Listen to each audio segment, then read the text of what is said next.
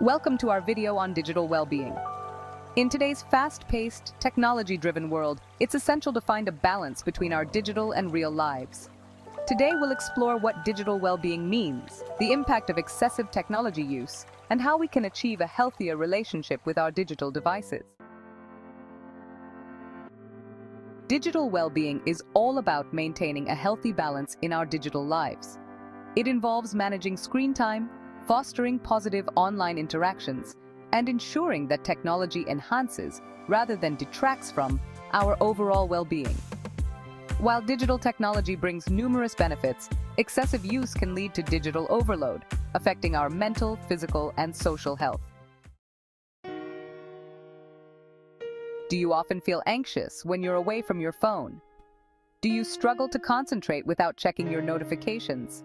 These are signs of digital overload. Let's look at some common indicators.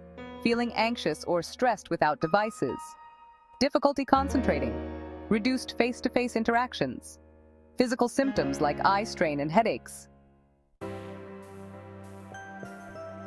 Improving digital well-being involves simple yet effective strategies. Here are some tips to help you get started. Set boundaries.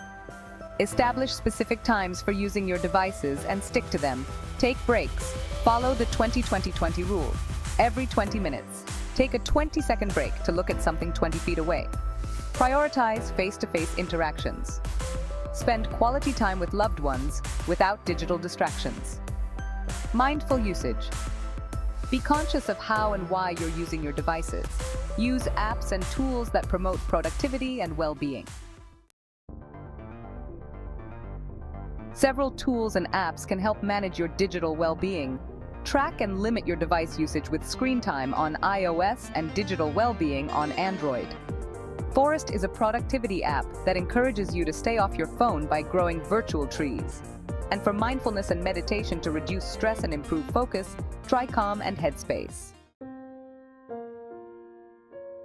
Creating a personalized digital well-being plan is a great way to start. Here's how you can do it. Assess your current digital habits. Set realistic goals for reducing screen time.